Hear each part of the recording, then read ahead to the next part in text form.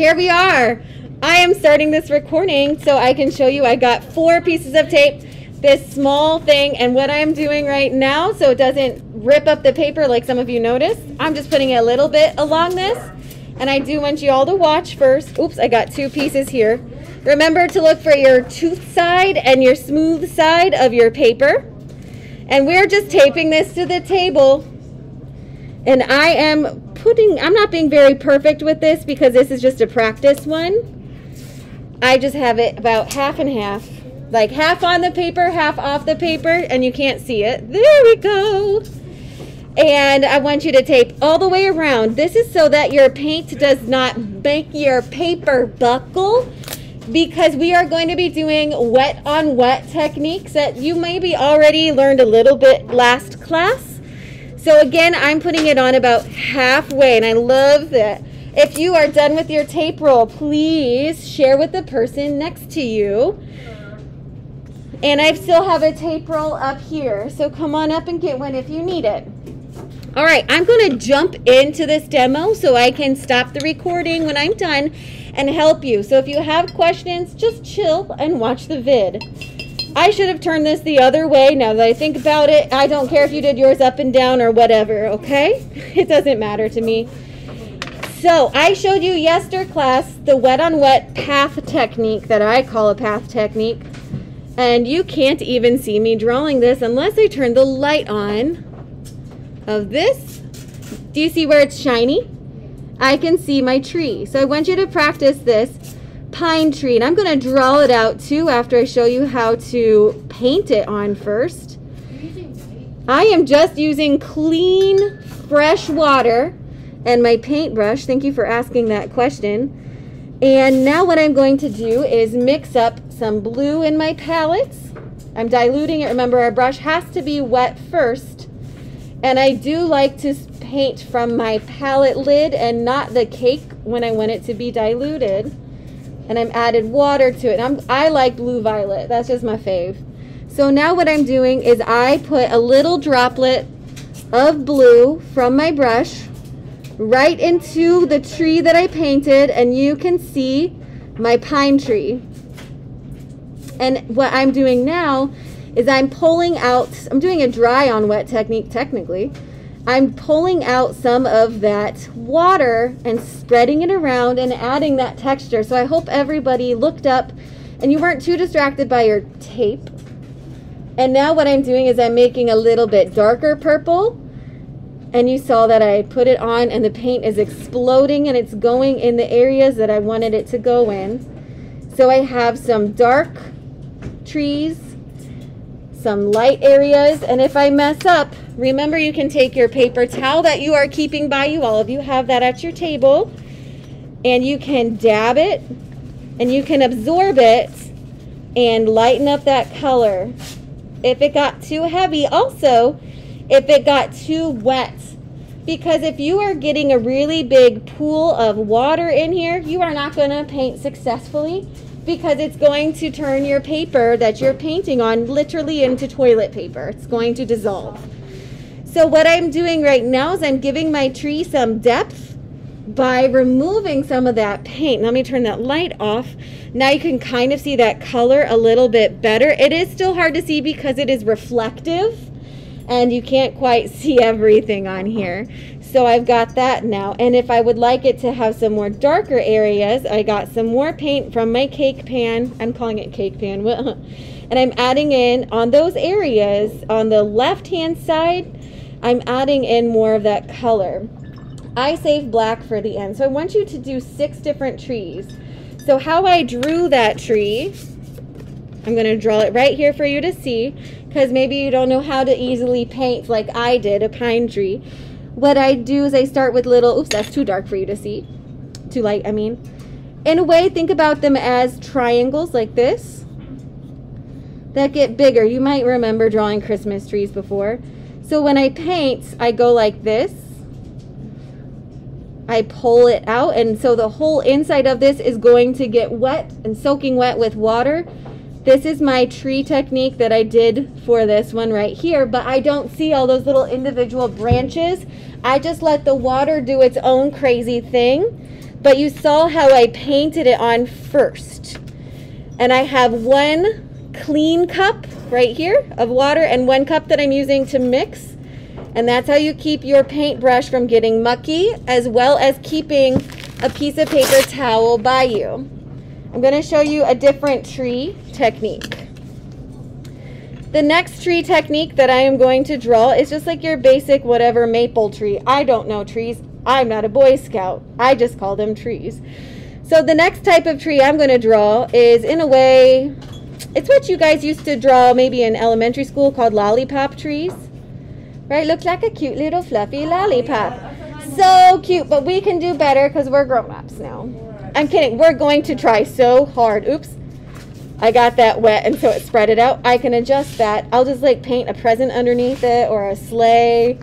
I'll come up with a solution. So what I'm going to do is I'm outlining this right now. Just as, um, what would you call this shape that I just did?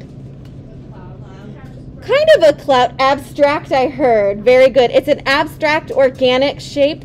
It is wiggly. It is literally all over the place. And what I am going to do, God bless if I can, I am going to leave little tiny areas that I'm drawing right here. I'm going to not paint everywhere.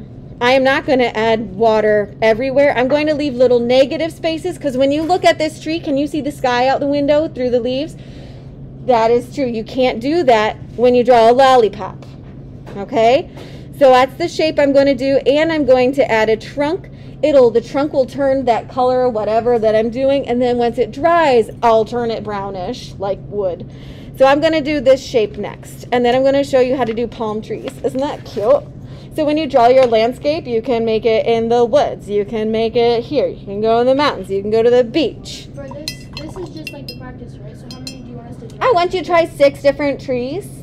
They could literally be all the six same trees if you're still learning how to do that. So I was gonna ask, can it be the same trees but like different colors and maybe different Yes. shapes? all? Uh huh. So right now I am leaving those negative spaces. I'm going to turn that light on so you can see the reflection of it. It's very hard to see. I'm using clean water. And I am leaving again some areas dry. And I am dabbing with my brush all over the place. And I can still adjust this. I am going to do well be that's okay. Why don't you just sit back and watch and then I'll help you when I'm done with this. But your tree is your tree. We're not growing we're not the same growers. Purple tree looks good because it looks like it kind of has a shadow or like has stuff. It's kind of cute. That's exactly right. It does have a shadow and then over here I like dabbed it. So you can see where my tree is at. And that's a lot of gaps that I did, correct? So I can fill those in now. I just wanted to have that control. So even though you can feel really out of control when you're doing watercolor techniques and it floods the area and everything gets messed up, you just have to understand how the water works and that you're in charge of it and you use nice paper and nice brushes and you won't have this problem. And also, all the tree leaves are tree leaves, yeah, yeah, yeah, are not connected together. So I'm using the tippity top of that brush and I'm making cute little dots to show the illusion that there's such small twigs in there. So this is technically not wet on wet that I'm doing. This is wet on dry because my brush is wet, but the paper's dry, and I'm adding some um, point pointed details, and I am going to like smush them together just a little bit because my dots look too perfect. I'm just too good at drawing dots. I'm all right, and another thing that Jaden talked about right next to me is one side looks like it has shadows, correct? So that's what I'm doing right now is I'm adding a darker value to one side and I'm going to let the other side be lighter by dabbing it with my paper towel. Oh, wait, and I have to make sure that the rest of that dirty paper towel doesn't get on my paper and ruin my life. Because it will. And I'm lightening up one side and absorbing that water and the color that was connected to it. And now I'm getting some more blue. And I'm putting it in the areas on the left hand side. You can do the right hand side. I don't care. Oh, I didn't do the trunk. That's okay. And once, oh, Miss Bill, you forgot which one was your clean one and your dirty one. That's fine. I mixed my brush in the wrong cup. It's fine. You're able to get up and change your cup of water any dang time. I am going to just continue to draw a trunk down here because most of the time you will not see a brown trunk. You will see um, shadows that look like blue, they look like purple, they even have green in it. Things are not just green and brown when you draw trees, when you take a closer look. I, oh, I did it again. That's fine. Now you guys will be able to see my water. And once this dries a little bit, I can do dry brush techniques to add tree trunks and twigs on there. But for now, I'm keeping it the way it is. So I'm adding in some lightness there. Does anybody know what color I would add to this blue to make it brown? What's the opposite of blue? Orange, yes, correct. So I will add a little bit of orange in there. Oh, keep on mixing in the wrong one. I'm going to have to label it. It's really fine because I barely have any paint on it. And it neutralizes it, and now I have a grayish brownish trunk right there. And if I want, I can still add some lines, and you can see those lines going in the back.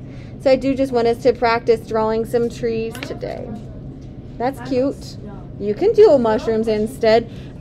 I am recording this, so what is your question? Just giving you a reminder. Huh, you feel rushed? A fan brush. A fan brush. Um, what you do to make a fan brush, because I didn't buy any, is you don't ruin it. Just put it down while this is wet. I'm just using my nail, and then I'm going to just go like this. And then I got my color on here. Hey, Cammy. And then you can do this technique with your fan brush. You're making your own DIY fan brush because fan brushes are expensive as heck. So that's one technique that you can do that I didn't even think about, but this is dry brush. Goodbye. So you can do that dry brush. But right now we're doing wet on wet technique. So the next one that I want to show you is a basic palm tree because those are real cute. Kylie, I feel like we drew a lot of palm trees last, or the couple. We did do palm trees, right? Isn't that cute that I remember what we painted together two years ago? Okay, the next one that I'm going to do is a palm tree, and then I want you to practice each of these three different types of trees. Okay, so a palm tree, most people draw, looks like this, like the basic palm trees, right? Oh, so cute. Tropic. Take me to Aruba, Bahama. Come on, pretty mama. Look, it's a palm tree. I'm going to be painting that with my clean water. Who has clean water I can steal? Oh, bring it to me. Bring it to me because I messed up. Thank you so much. What a good student I have. You can have that. All right. wow. Miss Rocky picked up pumpkin. Can I go to the back? Mm-hmm. Okay. So again, I'm painting it with my clean water. You could totally use a pencil to draw this out first, but draw it as lightly as your little heart can. So I am starting off with little arches, little arched lines, and I'm going to make some of them a little bit thicker. So right now it's going to look like a spider when I first do this. I'm just doing the leaves part. Ooh, I want this to be more of a yellow green. So I'm going to mix green and clean my brush off in the one that I am using for color mixing. Yellow green. There we go. And now my colors are going into the areas that I want. So right now this really just looks like a leaf. But what I'm going to do since it's still wet right there is I'm going to make the water travel to the location I want by pulling it with the tip of my brush that I abused earlier when I was making a DIY fan brush. So get your brush wet and reshape it with your fingies. And you're going to use the tip of the brush. It's a wet brush. And I am going to pull out little tiny palm fronds. Little tiny lines along the edge to give the illusion of a palm frond. And you can draw more leaves, but this is like the basic one. I need feel like I need to have one going out that way so it doesn't look flat over there.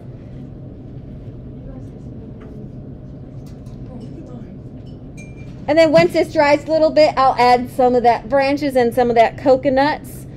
But here's just a couple different trees that I want you to try doing. I want you to do six trees, and you can look up some different ones, or I could do all of the same ones. All right?